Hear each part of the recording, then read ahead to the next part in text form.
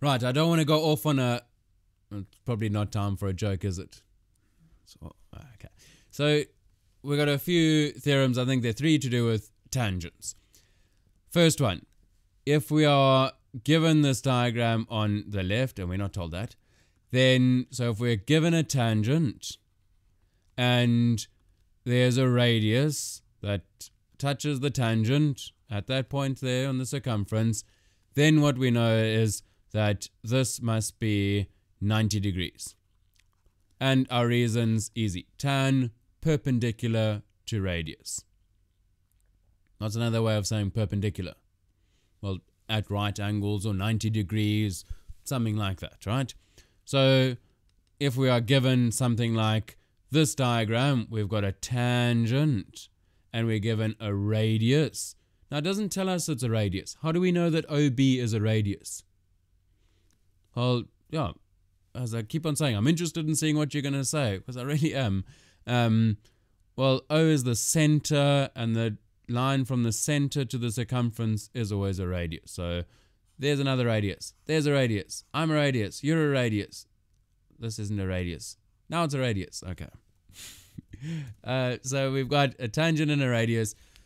Just type down quickly how are you're going to determine what angle x is. So let's see what you've written down there. Just make sure that you've given all your reasons. So firstly, we'll need to say that that's 90 degrees.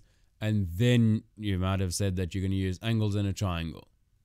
Or you might have said, this will be interesting. I really want to see, did anyone say this is 90 degrees?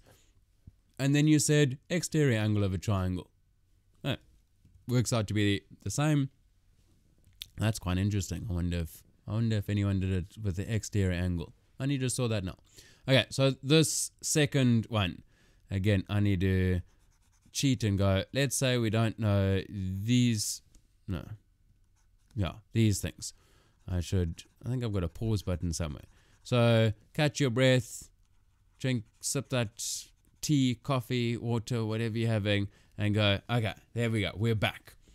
And we're given that we've got tangents. So we're told that these are tangents.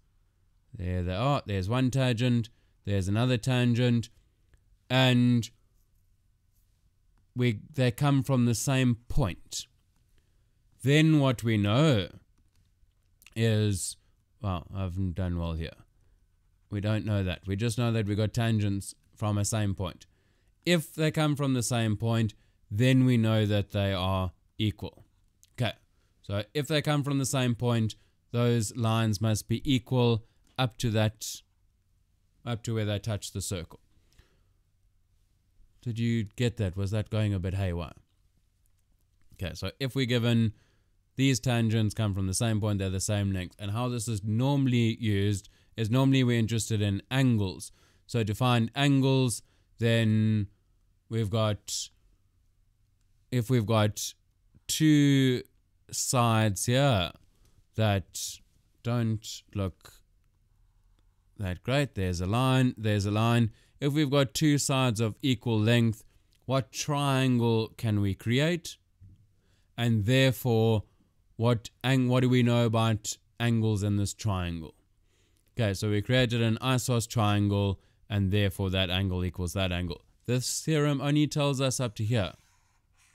So it tells us that these two are the same length and our next reason would be isosceles triangle. So I want to work through one example together and we'll do tan chord in the next video. So the one example here is we're given this whole long diagram and I really just want to focus in, we're given this whole diagram and really want to focus in on A. So we're given a tangent and they come from the same point. So give all the reasons that you're going to need to state. So work through the question to find out what A is. Determine A. And I want a list of all the reasons that you used along the way. Okay, so here are the reasons that I can think of, and it is important that you state each one. At some stage, you went, great stuff, we can create this, we've got a triangle, well, we know that that's equal to that, we've got an isosceles triangle, if that's 50, Well, then those two added up together must give you 130, so therefore they're 65 each. Now, all the reasons along the way. Isosceles triangle you used at some stage. Some stage, oh, they all add up to 180. Oh, ah, that's sum of angles in triangle. And at some stage, how did you know these two were equal? You used tan from same point. So there are three reasons that we need to give. And I think one, of one way to do it, I was going to say the easiest, I don't know, one way to do it to make sure we get our reasoning is just to start off by saying AP equals PT. AP equals PT. How do we know that? Tan from same, same point. So this reason becomes our first reason. Then we can say, well, therefore, APT, triangle APT is isos and angle A equals 65 because of sum of angles in triangle. Just somewhere along the way, you need to mention isos triangle. You need to say tans from same point and sum of angles. So just make sure you've got all of those embedded there. Okay, we're heading towards